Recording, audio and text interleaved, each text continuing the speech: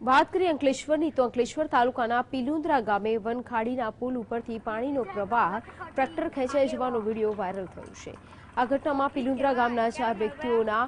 ગામના લોકોએ બચાવી લીધા હતા એક વ્યક્તિ લાપતા બનતા એનડીઆરએફના જવાનોએ મૃતદેહ શોધી કાઢ્યો હતો